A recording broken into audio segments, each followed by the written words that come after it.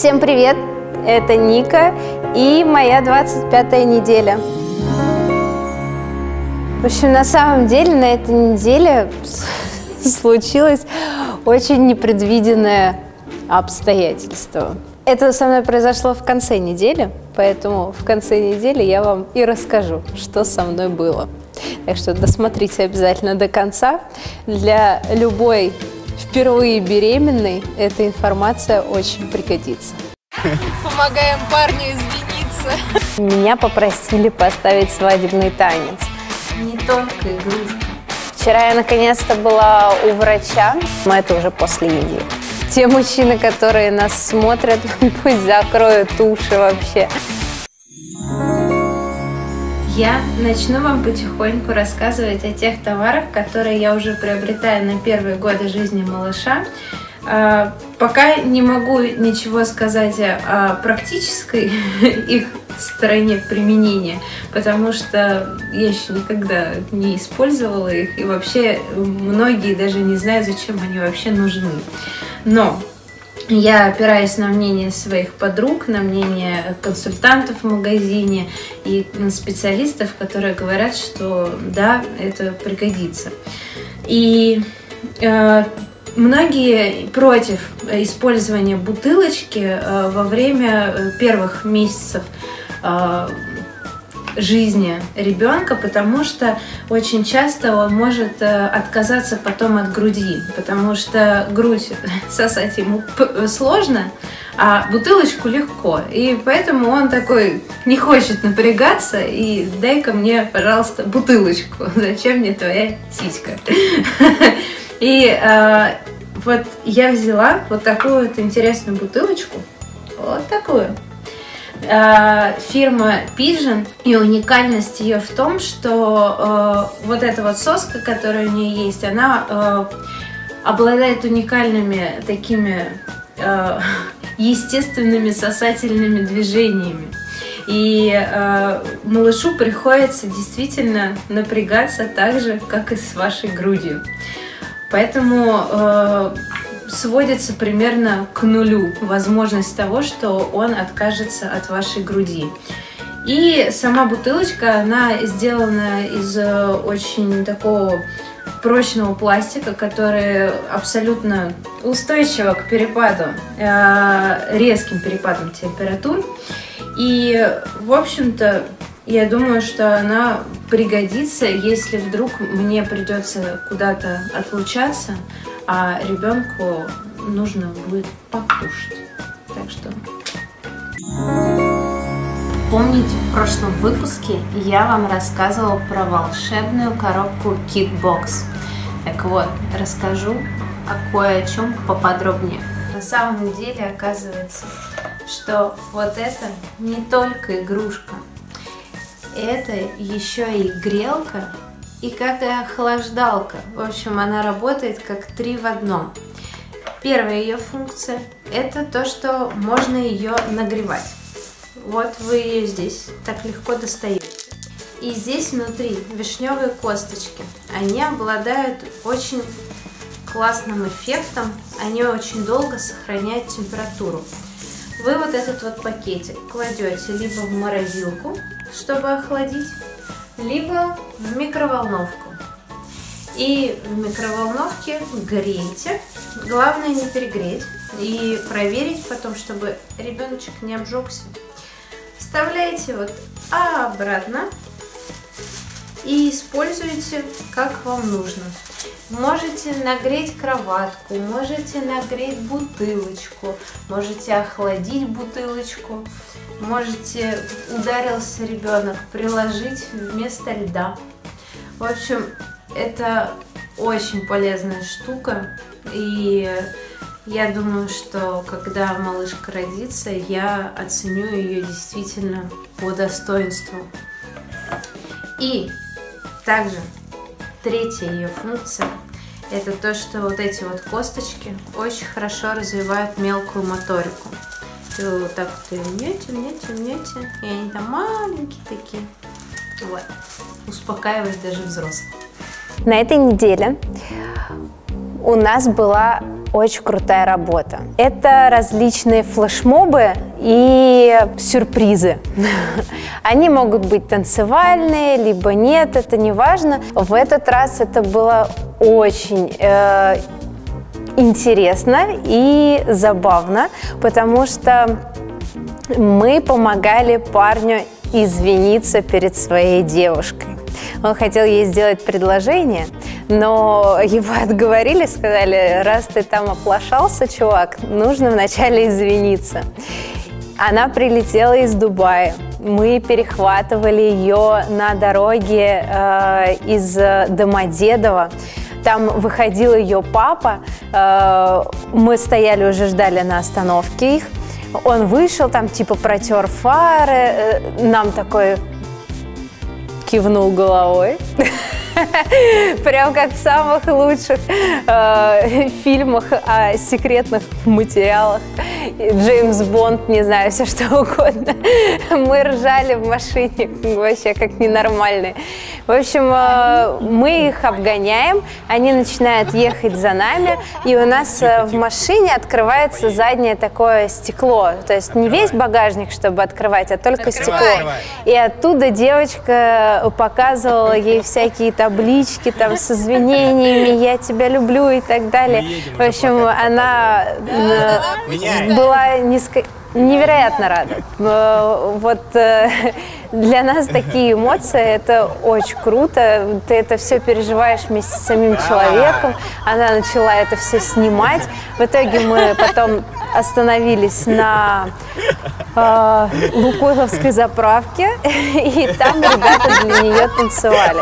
Я, по идее, тоже должна была танцевать вместе с ними, но так как э, организаторы не согласовали данный флешмоб, э, мне пришлось успокаивать ненормального менеджера, который еще и запретил все это снимать. Но ничего, в любом случае девочка была в восторге, она там плакала, сияла от счастья. Думаю, что вскоре мы сделаем для нее и предложение. Вообще, обычно эта работа, конечно, у нас летняя такая. Э, и не раз э, я танцевала перед роддомом, там, где папаши встречали своих жен, и мы как раз для них тоже устраивали крутые флешмобы, куча-куча народу, э, танцевали под I love you, baby и так далее. А, и прям я подумала, а вот я ведь тоже скоро буду на этом месте. Ребята прикалываются, что тоже будут для меня танцевать. Мне кажется, это будет будний день, и они все забудут, короче, и забьют на меня.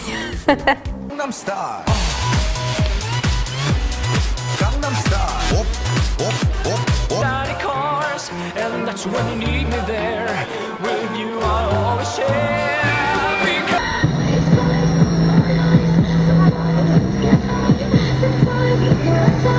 А еще э, на этой неделе э, меня попросили поставить свадебный танец. Это тоже одно из моих таких любимых занятий. Э, на самом деле, как э, я говорю, что я не только хореограф, но я еще и психолог, потому что э, очень часто, конечно, при постановке свадебных танцев парочки, ух, какие заведенные ребята, особенно если это делается не заблаговременно, а там за пару недель до самой свадьбы. К сожалению, придется мне это отложить, потому что я все-таки думаю, что в июне мне будет гораздо комфортнее на таких занятиях. Feel you touch me in the morning softly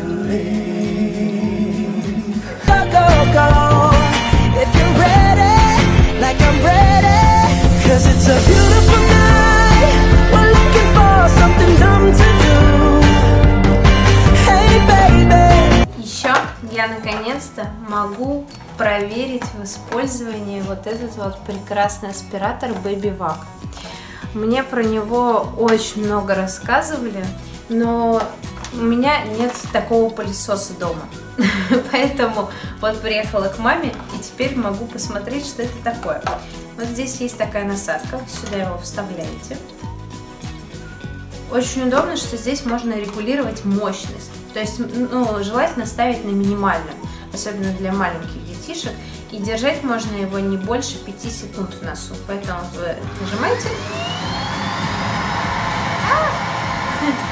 И там им вводите. На самом деле очень забавное ощущение э, и совсем не неприятное. И показания к использованию, то, потому что ребенок не умеет высмаркиваться. Так что это очень-очень нужная вещь. А еще, кстати, здесь пишут, что желательно промыть вначале нос соляным раствором. Так что для более эффективного использования обязательно промывайте. И вообще читайте инструкции. Еще я разобралась со своим ухом. Вчера я наконец-то была у врача. Я пошла к стоматологу, хирургу просто от балды. Подумала, что, ну, может, он поможет. А, а так как к терапевту огромная очередь, а к хирургу нет, а по сути они знают практически одно и то же, лайфхак. Идите к хирургу. У него вообще никого нет. И я к нему пришла, э, описала свои симптомы. Он говорит, ну, сустав. Просто воспалился сустав. Короче, не зевай, широко рот не открывай, полный покой и ешь кашку. Ну и, собственно, все пройдет. Если не пройдет, то тогда уже будем делать рентген. Но, видимо, это уже после Индии. Была сейчас на приеме у Лора. На самом деле, мне опять так и сказали, что с моим ухом э, нужно будет э, смотреть сустав челюстной. Отправили к следующему профессионалу. В общем, посмотрим, что с ним. На самом деле, очень тяжелое место. Я провела сейчас там целый час и знаете, быть беременной и сидеть и смотреть э, на кучу детей больных э, раком и кучу других неизлечимых болезней. Пойду, что ли, в ванной полежу, не знаю. Может, полегчает. Очень сложно. Очень. Я прям прослезилась. Вот как назло. У меня именно сегодня просто куча-куча дел. В такую погоду, такой снегопадище, все далеко от метро. Просто как какой-то кошмар. Ходьба – это вот лучшее, что придумали для беременных женщин после бассейна. А когда ты ходишь по неубранным еще улицам, еще и приходится волочить ноги. В общем, класс. Фитнес вот еще один важный вопрос, который я узнала на приеме у своего врача. Она мне каждый раз спрашивает, какие витамины я принимаю. Каждую неделю я ей насыпаю одно и то же. И она такая, ну окей. Я говорю, ну а вообще смысл-то есть их принимать? На что она мне выдала э, такую информацию, которую, видимо, она не совсем могла мне говорить, так как э, врачи обязаны пропихивать какие-то, ну, там, витамины, средства и так далее. Она сказала, что вообще эти витамины очень часто, очень сильно повышают аппетит. Но так как я худенькая, стройненькая, она как бы разрешила мне их пить. Но полненьким девочкам лучше от них воздержаться. Короче, на пожрать прям прорывает. Но сказала, главное юдомарин пить. И плюс, так как я лечу в Индию, вообще нафиг мне эти витамины, я сейчас заряжусь. Смотрите, по какой потрясающей зимней сказке я иду. Знаете, я всю жизнь прожила в Сокольниках. И очень мечтаю вернуться в этот район и надеюсь, что в скором, в скором будущем моя мечта осуществится, потому что жить рядом с парком – это божественно. Вот вы знаете, а, куда не придешь, тебе все такие, может, посидишь? Ты такой, не-не-не, я хочу постоять, вот сейчас ехала в машине, дофига времени, дайте постоять. Вот, кстати, для выманивания моего дитя очень помогает. А я что выманиваю тогда? Ну, ты, может, ее тоже выманиваешь. А, поэтому она меня теперь пинает во сне, потому что я ем ее печенье. Да. В конце этой недели те мужчины, которые нас смотрят, пусть закроют уши вообще. Вам это знать не обязательно. А, Я просыпаюсь с утра, и я люблю спать голой. Ну, нравится мне. Там всякие вот эти вот поддерживающие лифчики, это все мне не нравится. В общем, все это сдавливает, э, и мне хочется свободы. Но я проснулась от того, что смотрю, и подо мной, ну, прям, ну так, какое-то все мокрое. А оказалось, что начинает из груди выделяться молозиво. Ужас какой! Я смотрела на вот эти вот прокладки, которые для груди, и думала, ну, кину-ка я их в тот ящик, который будет у меня в роддом. Не тут-то было.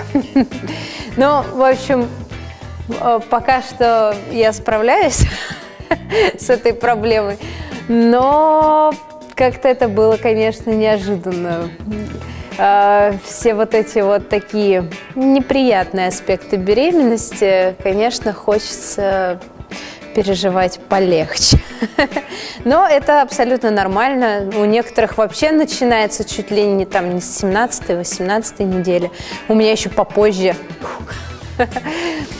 И чтобы не забыть о наших роликах и новых выпусках, обязательно ставьте колокольчик. И он обязательно напомнит вам о том, что вот они мы, пора смотреть. Всем пока и не переключайтесь.